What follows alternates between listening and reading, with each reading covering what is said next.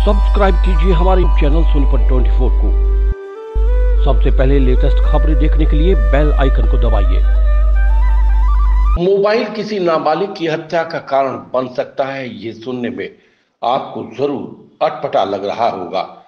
लेकिन ये हकीकत है, सोनीपत के गाँव बड़ मलिक से ऐसा ही मामला सामने आया है, जिसे सुनकर आप हैरान रह जाएँगे।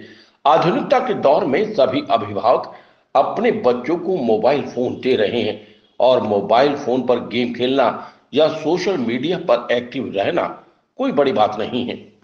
हर किसी के हाथ में मोबाइल देखने को मिल जाएगा आपको, लेकिन यही मोबाइल अब मौत का कारण भी बन सकता है।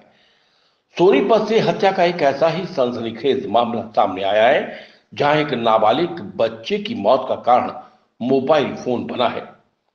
मिली जानकारी के अनुसार मूल रूप से यूपी के जिला सीतापुर के गाँव माधवपुर निवासी राम सहारे ने 4 नवंबर को राई थाना पुलिस को बताया कि वो पाँच साल से गाँव बड़मलिक में राकेश के मकान में किराए पर रहते हैं। उनके साथ उनके बेटे अभिषेक, चौदह साल जिनकी उम्र है, वो भी रहते थे। वो उनकी इकलौती संतान थे। उनकी पत्नी सुनीता की एक साल पहले मौत हो चुकी है। उनका बेटा तीन नवंबर को सुबह से लापता था।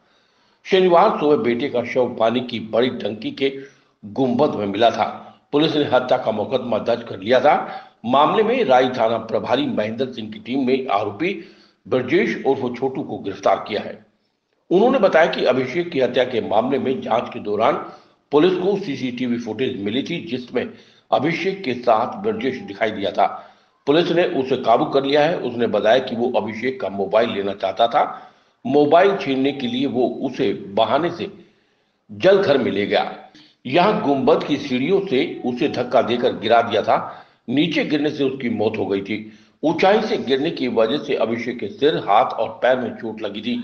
उसने उसके शव को घसीट कर एक तरफ़ कर दिया और उसके शरीर पर प्लास्टिक की बोरी डाल दी थी।